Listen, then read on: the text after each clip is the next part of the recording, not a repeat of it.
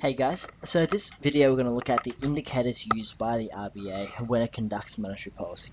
So obviously before the RBA conducts its monetary policy, it needs to decide whether to increase or decrease the cash rate.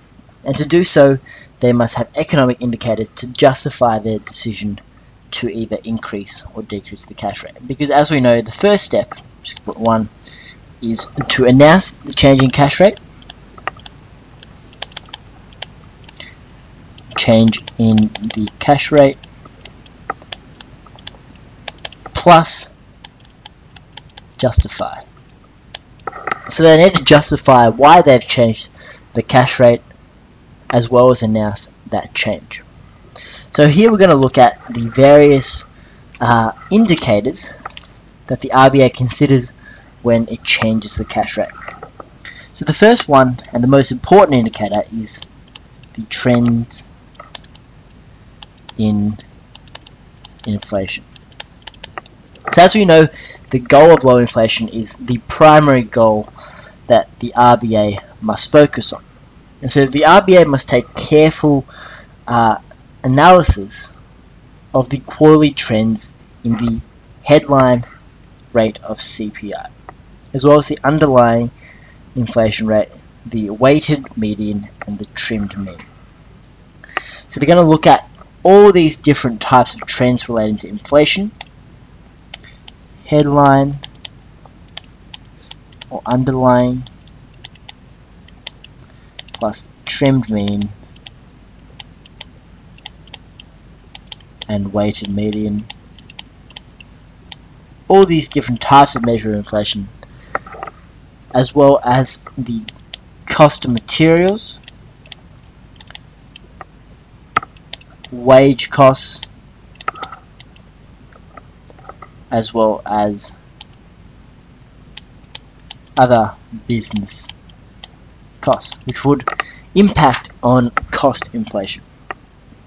And so when the RBA sees that the inflation is out of its band of around 2 to 3% CPI and they do this by annualizing the figure then they would justify changes in the inflation rate or if they think that the inflation, there is a trend of an upward sloping inflation graph, such as that, and so what they do is, since they're forward looking, even if the inflation rate is within this band of 2 to 3%, but if they expect it to go higher than 2 to 3%, then they would announce a change in their monetary policy stance. Okay, so that's the first indicator used by the RBA.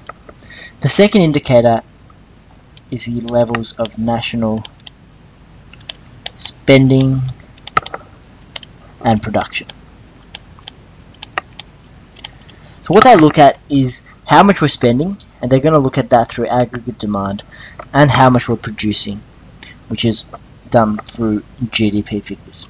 And so, because it is very important, because production relates to this idea of aggregate supply, and national spending relates to this idea of aggregate demand, when aggregate demand exceeds aggregate supply, then inflation conditions would rise.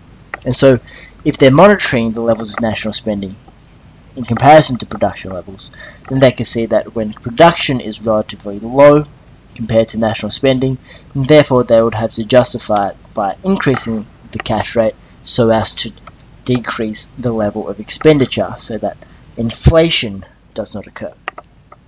So by looking at levels of national spending and production, they are able to monitor inflation more thoroughly. Thirdly, they're going to look at labour market conditions. And these labour market conditions look at unemployment rates, job vacancies, uh, labour force participation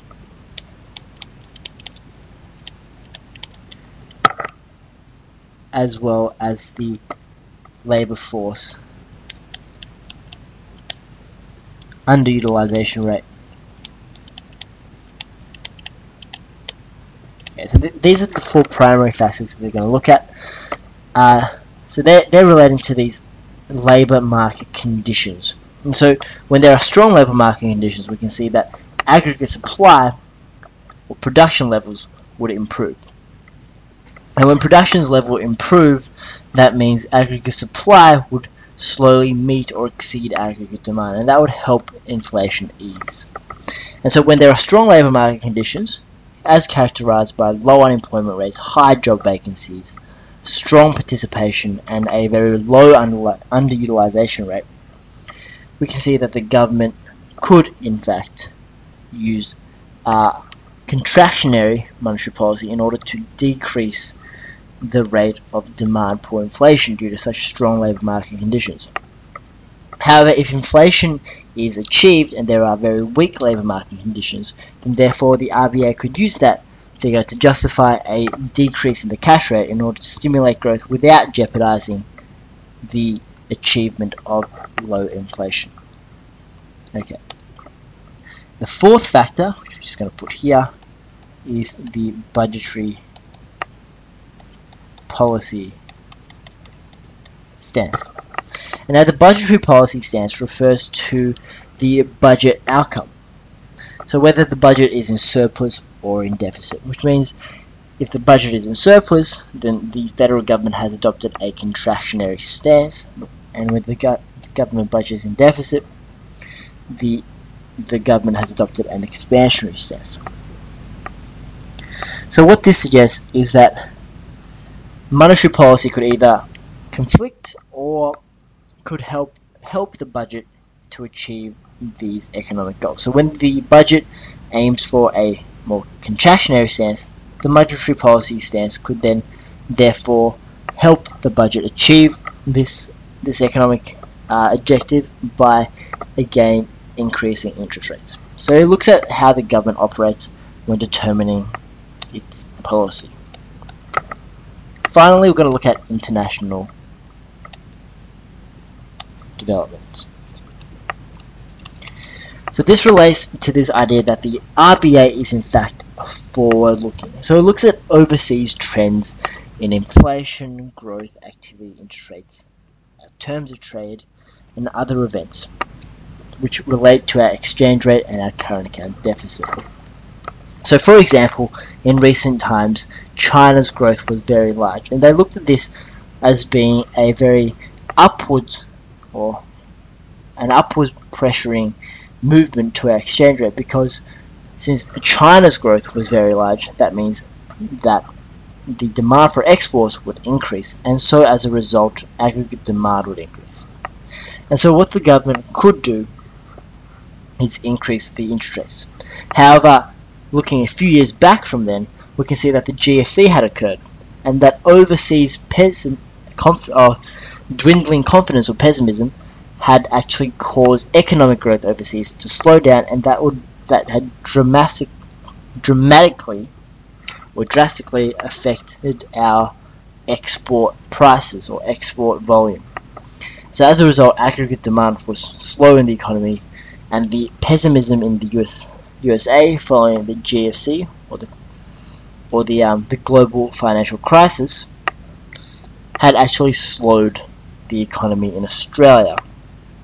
So the government had slowly decreased the interest rate from a high of 4.5% to around 2.5% at the moment.